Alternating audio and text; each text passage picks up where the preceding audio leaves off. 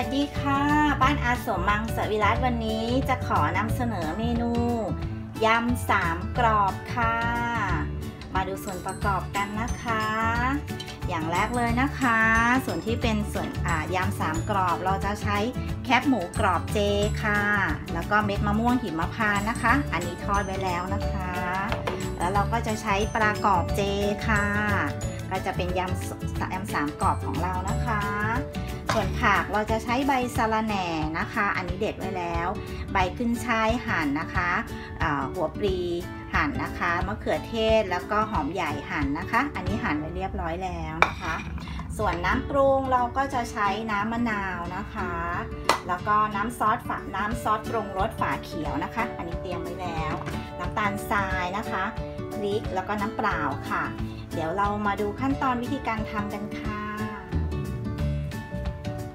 แรกเราจะทำน้ำปรุงยำสามกรอบก่อนค่ะ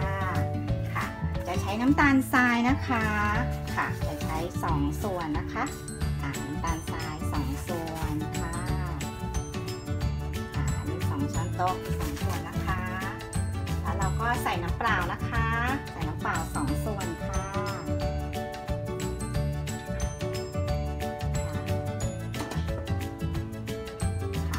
แล้วก็ซอสน้ำซอสปรุงรสฝาเขียวนะคะ อันนี้ 1 ส่วนค่ะ แล้วก็น้ำมะนาวนะคะ น้ำมะนาว 1 ส่วนค่ะค่ะ แล้วเราก็คนค่ะผสมให้เป็นเนื้อเดียวกันนะคะ รสชาติจะออกหวานเเปรี้ยวแล้วก็เค็มนะคะ แต่ถ้ารสชาติเข้มข้นเกินไปนะคะ เติมน้ำเปล่าลงไปได้ค่ะค่ะ เราผสมให้น้ำตาลทรายละลายเป็นเนื้อเดียวกันนะคะ ค่ะ เดี๋ยวลองชิมดูค่ะ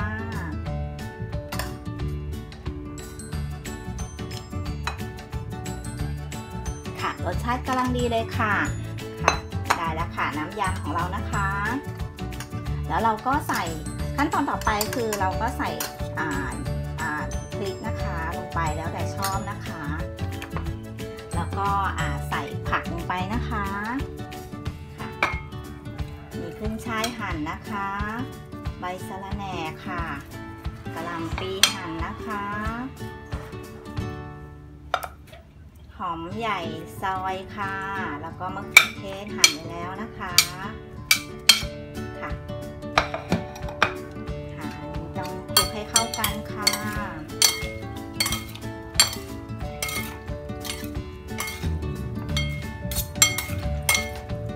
แล้วเราก็ใส่ส่วนที่เป็นเม็ดมะม่วงค่ะ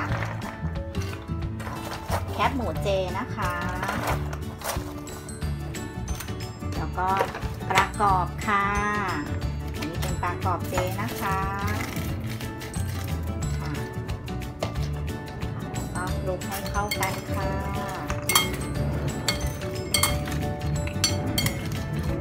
ได้แล้วค่ะยำสามกรอบมังสวิรัตนะคะ